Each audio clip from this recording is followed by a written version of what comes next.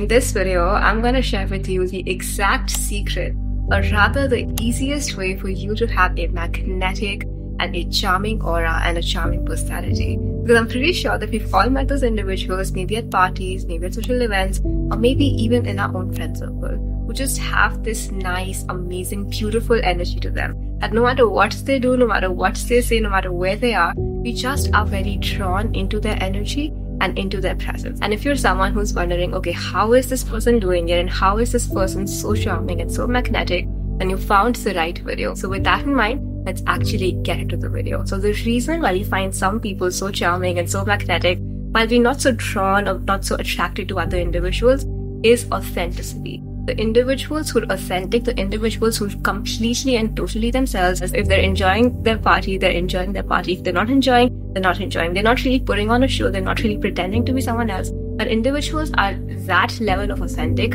they become magnetic. Because in a world where everyone's trying to put on a persona, everyone's trying to play a character, everyone's trying to be that cool person, that charming person, that intelligent person, or whatever, this authentic individual really does not care. And this authentic individual is actually truly owning who they are. And because they do so in such a nice, effortless, classy, I would say nonchalant manner, they become very, very, very magnetic to us. So we all know that yes, authenticity is good and authenticity is important, but how do we actually become authentic? Like what is that one recipe that we can all employ to become our most authentic selves? So the way I would define authenticity is I would say an authentic individual is someone who knows who they are, plus who owns who they are, plus they do so without any guilt or shame. And I'm not just saying this, there was actually a research that was conducted that found out that authenticity is actually the highest vibrational frequency that you can operate on. Because for the longest time, we've all thought in the frequency chart, peace or love is the highest that we can get. But no, if you're authentic, you're actually operating even higher than love and even higher than peace. So if you can just master this exact formula of knowing who you are, owning who you are, and doing so without any guilt or shame, you will operate on the highest vibrational frequency. So the first question in this entire authentic recipe actually is, but how do I know who I am? So many times we get so lost in other people's opinion of us, in other people's perception of us, in us trying to become that cool person. We get so lost in those narratives that we really lose who we truly are and we really lose our core. And because we've lost our core, because we've lost our true essence, our true personality, we can't really show that to the world. And that is why we don't ever become magnetic. We become one of that individual who is a part of the crowd. That is why step number one for us to become authentic is to actually find yourself back and actually find your true, your authentic, your core self back. And to do that, we will be doing an exercise. We will actually be doing a journaling exercise in this video. And if you really wish to find who you are in order for you to become your most authentic self, I highly recommend that you pause this video right now and get yourself a pen and paper and start doing this exercise with me. So, question number one that you will need to answer is Who are you when no one is watching?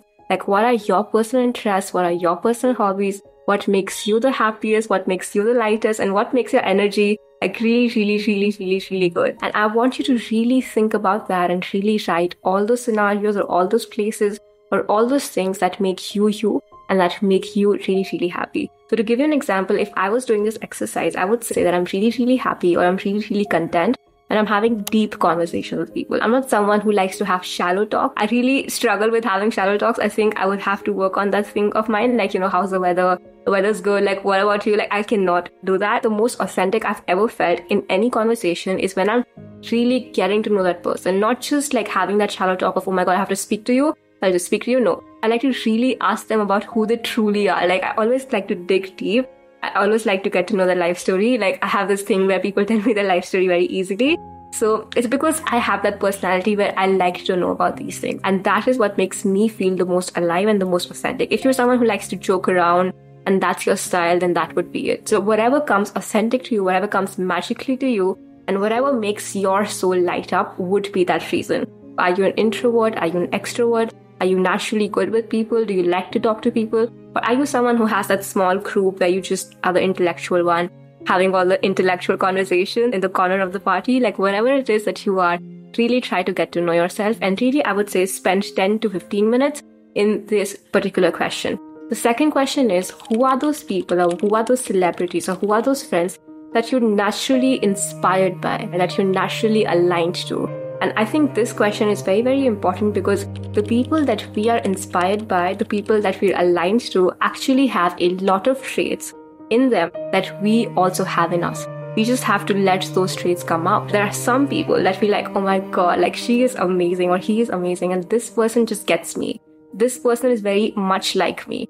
If there are certain individuals that are like that for you, and I want you to really think about the traits that these people have and why is it that you're attracted to these traits because the thing is that the more you can become aware of the traits that you're attracted by the easier and easier it will become for you to actually embody those traits for yourself. And the more you can embody these amazing traits that you yourself are so, so inspired by, the more authentic you become and the more magnetic you become. And if you can't think about a celebrity as such or a person as such, just write the traits that you yourself are very aligned to or you yourself are very, very inspired by. So, say for example, if I was doing this question, I would say that I'm someone who's very inspired by women who are very ambitious. I really like to see when women are ambitious, when you know they don't think that they just have this one role that they have to play in the society, who are very confident, who are very powerful. I wouldn't say it's the that girl aesthetic.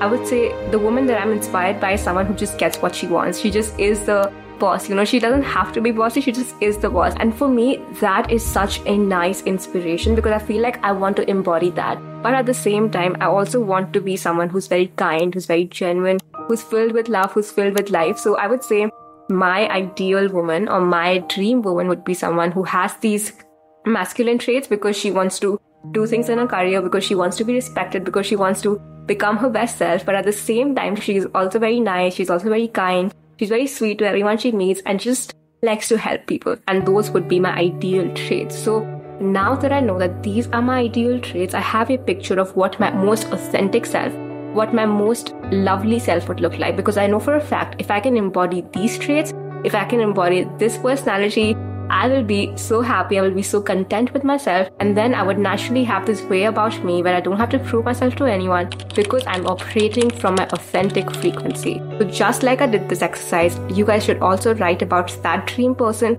that you really, really want to become, exactly the traits that they have, exactly the things that makes them them, and write about that and try to embody those traits as much as possible in your daily life. The third question, which I would say is also very, very important, is actually a reverse question. And the question is when are the times you feel the most pressured to be someone else? Okay. So many times we know what our authentic self is, right? We know exactly what makes us us and we know exactly how we are truly. But at the same time, we feel the pressure to put on a facade for other people. So, in this question, I want you to really think about those times where you've had to put on a facade in a social situation or in any situation where you felt that you were not operating from your authentic frequency. And once you know those scenarios, do the five whys exercise, okay? So, why do I feel pressured in social situations? Maybe that's because I get a little nervous in front of people. Why do I get a little nervous in front of people? Maybe that's because I am a little intimidated by people. Why am I intimidated by people? Maybe because somewhere down below, somewhere in my core, I have a low sense of self worth, and that's why I feel like people are on a pedestal for me. Okay, so that is the reason. The reason is that I sometimes have a low self worth, and because of which I have to put on a facade, I have to pressure myself to be someone else because somewhere I think that people will not like me the way I am. And that is the main reason. And now, once you know the reason, you can actually work on that reason and try to eliminate that reason as much as possible. So definitely do these three questions and do these three exercises. And once you've done that, let's move on to the latter part of authenticity. And that is my favorite part, and that is to own who you are and to do so without any guilt or shame. So step number one for us to completely own who we are is to actually fix our insecurities and fix our low self-worth. More often than not, the main reason or the main thing that stops us from being authentic is our low self worth, and sometimes it's our inferiority complexes. Because we have these inferiority complexes, we see other people as more important than us, we see other people on a pedestal, and because now we've put them on a pedestal, we have the pressure to perform, and because we have the pressure to perform, we cannot be authentic. I remember I gave this job interview, and usually my speech is very good, okay? I talk in a nice manner and really talk to people. I have this thing, okay? But this particular job interview, I put this job on a pedestal. Because I put this job interview on such a pedestal, I gave so much importance to this job interview. I literally couldn't be myself. I literally couldn't even answer the questions like how I would if I was not nervous. And then obviously, I definitely didn't perform well in the interview. And yeah, like I can laugh about it now because whatever, like, you know, stuff happens, it is what it is. But from that experience, I realized how important not putting things on a pedestal is, not giving too much importance to a thing is. Because the moment we give too much importance to that thing, we give the exact opposite to us, we make ourselves feel inferior, and we make ourselves feel below that thing. And if you're someone who faces this exact thing in social situations, and maybe that is the reason that is preventing you from being your authentic magnetic self. So here, all you have to do is you have to really become aware of those stresses that you put on yourself and try to accept yourself the way you are and try to understand that no one is on a pedestal, no one is more important than you. Either all of us are God or either none of us are God. And there is no in between. And really internalize that statement and really understand that statement, okay? Second of all, if you have certain insecurities, if you feel like you have a low self worth, if you have low confidence, if you have some things that you need to work on, try to work on those things. Okay? Try to work on your confidence, try to work on your skills,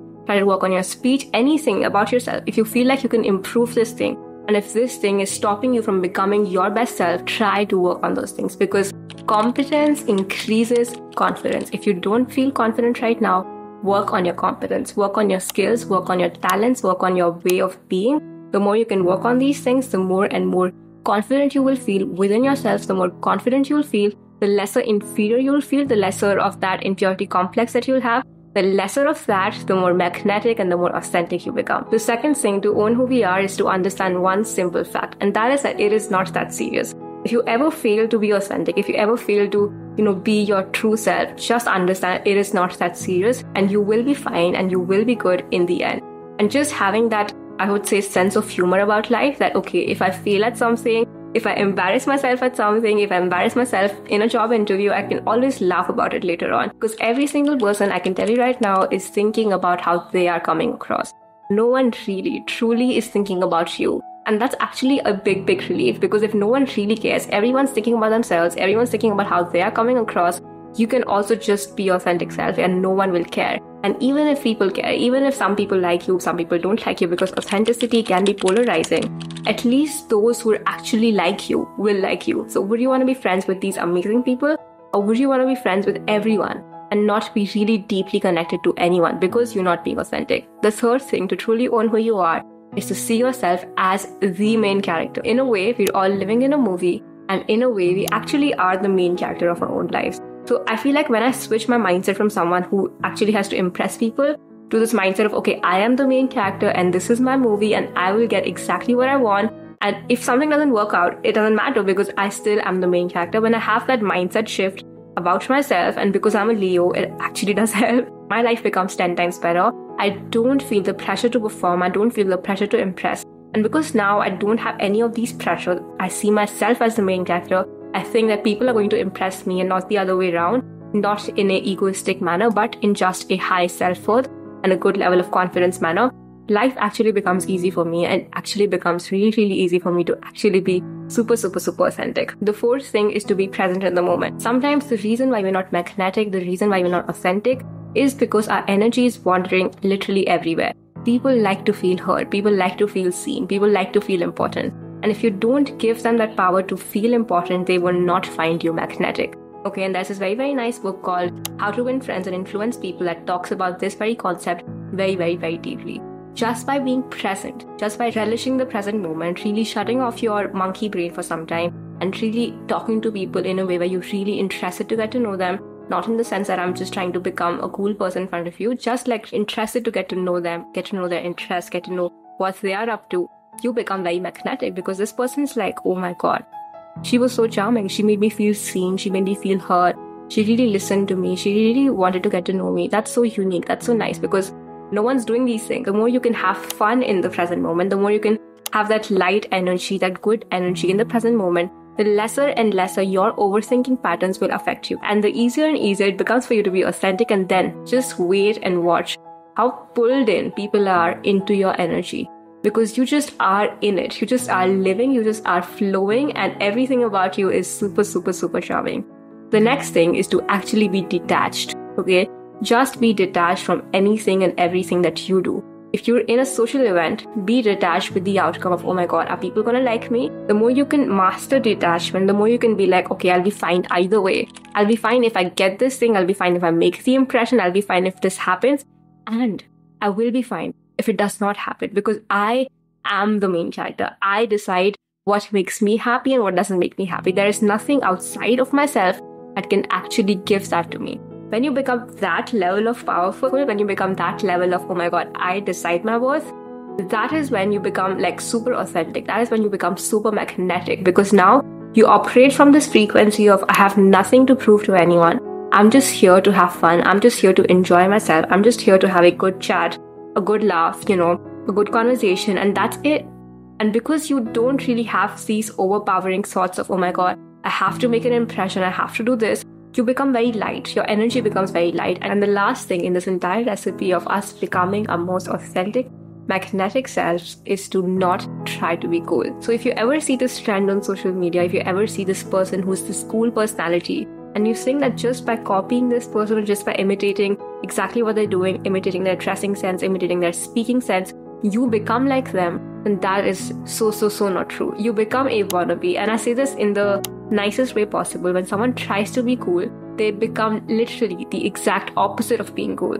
The cool person is cool because they're authentic. The cool person is respected because they accept themselves. So if you really want to become the cool person, you have to stop trying to copy the cool person. You have to try to find your own cool personality, try to find exactly who you are, and the more you can embody your authentic self, the more cool you become. And that is when people are actually drawn to you. If you're interested in content like this, content about productivity, about life, about meaning, about just becoming your best self and living your best ever life possible, because in this channel, everyone who's watching this channel will live their best life possible. So if you're interested in content like that, then definitely hit the subscribe button down below and join this amazing fam that we have. And thank you, thank you, thank you so much, you guys, for watching this video. Hopefully, I will see you on my next one.